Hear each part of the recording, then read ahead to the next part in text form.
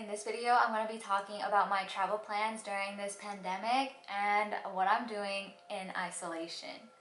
So by the time this video is out, I should have been in LA with my friend Sharon, Vivian, and Lewis. And Sharon is like my best friend from my Hong Kong exchange. You've seen her in past videos if you haven't. I'll link them down below. We went to Seoul together and various other places like the Philippines. Lewis, Lewis is our friend that we met in Singapore and that's a cute story but that's another video. And he's from Australia so he was gonna come all the way from Australia and he had a whole North American trip planned but with the virus none of this is happening unfortunately. Or none of that with him is happening. And Vivian is Sharon's friend from Toronto that was gonna hang out with us because why not LA I had this awesome video about a boat party I went to with the International Student Association in Hong Kong during my exchange last semester, but I just felt so bad editing that because it was taking time away from my mass that I'm donating to nurses at a nursery home and patients with COVID-19 at a local hospital. I felt that, like not giving it enough time because I want to get as many out as possible as soon as possible so that they're ready because the hospital I was talking to, they're gonna have an increase very dramatically these next few weeks, of course. So I'm trying to get them ready and editing that video is gonna take way more time than me editing a sit down video talking about what's going on. If you want to write a note on the back of my mask, so this one, you probably can't see because they're dark, but like you can see it when you're closer. This one says you are appreciated. And then this one's so cute. It's from Divya and it says, thank you for being a shining light in the world when your community needs you most.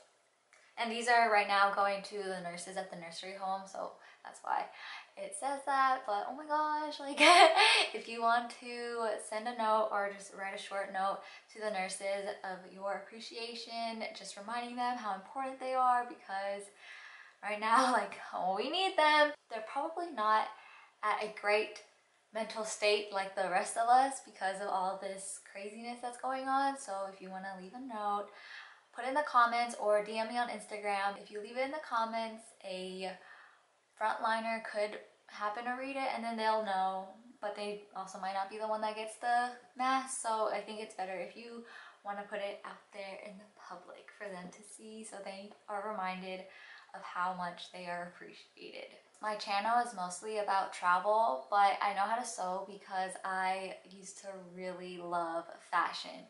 Like the first time I did a study abroad was in Paris because I wanted to be in the fashion capital and I even got to go to London and Paris Fashion Week, which was such a dream come true. If you want to see pictures of that, you can go through my Instagram and maybe follow me if you want to see how my online Zoom swim class is going. On my channel, I talk about how I change my style a little bit or pack certain things so that I can match the culture and fit in at different places that I'm traveling to. My Morocco and Seoul, South Korea videos are really good examples of that if you want to see a little bit more of what my channel is like and a little bit more of just how I like to dress when I travel. I also am planning on putting out some videos about how to be flexible with minimal amounts of clothing or like just ways to adjust your clothing so that it looks different so you don't have to pack as much. If you're into that, make sure you subscribe so that I know that there are people that want that content.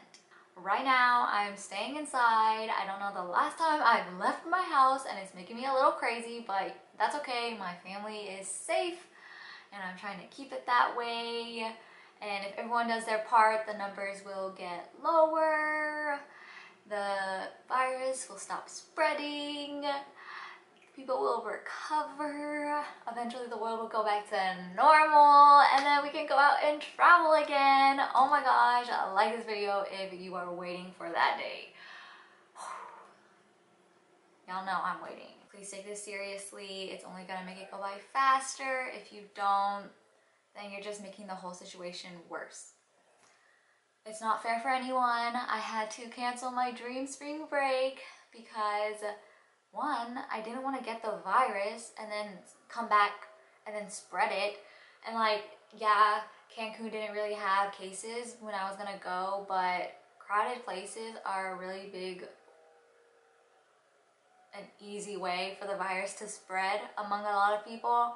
Like a bunch of people from my school went to Cabo in Mexico as well. And then they came back and they have coronavirus. So I'm like, mm, yeah, you might have heard about it. It was in a lot of news articles. Like New York Times wrote about it. My school is the University of Texas at Austin and we have like 49 people that got coronavirus because they went to spring break in Mexico.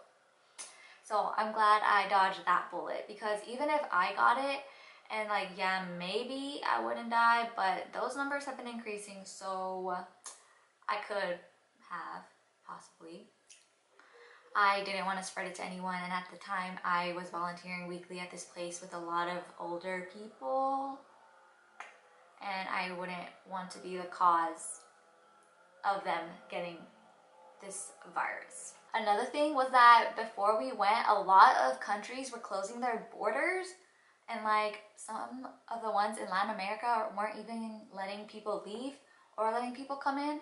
So I was like, oh, like, what if that happens to Mexico? And then during the trip, when we would have been there, they did. So I was like, wow, I'm so glad I canceled because I could have been stuck. And then also Cancun, the state Cancun is in, they shut down like bars and places with where people can gather because of the virus to prevent spreading it. So it's like I wouldn't have even had fun. And I know someone that went there and then it literally shut down and like what would been the point of me going? So I'm glad I canceled that even though I had some resistance in my group, but it had to be done. Other than LA and Cancun, I had a trip planned in a few weeks to go to Montreal with Sharon and Lewis because Lewis would have been here on his whole North America trip and I mean like that's obviously not happening because they closed the Canada and US border. So that was sad. And we were supposed to see my friend Angel from our Hong Kong exchange and she's from Taiwan. And she was like going on exchange at HEC Montreal, which was kind of the school I went to during my exchange in Paris because it was like HEC Paris, so cute.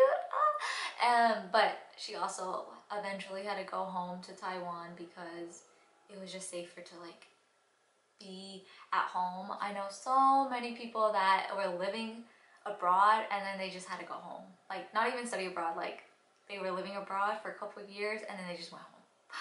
So it was, it's an intense time and not really the time to be away from your home country because you don't know how long these borders are going to be closed. There's just so much uncertainty going on right now and it's better to be where you're safe. I was supposed to go on a grad trip around South America this summer with my friend Stephanie to see some of our friends from our Paris exchange. But I don't know if that's happening anymore because I don't know when this is gonna end. It's just not my time to explore my side of the world apparently. But hopefully I have the time and chance to go later because I have a lot of airline credit. But at least I got to explore my country, which is huge. I have videos on Miami, Fort Lauderdale area and Disney World, Florida and a couple other places coming up. So make sure you hit the bell so that you know when those videos are out.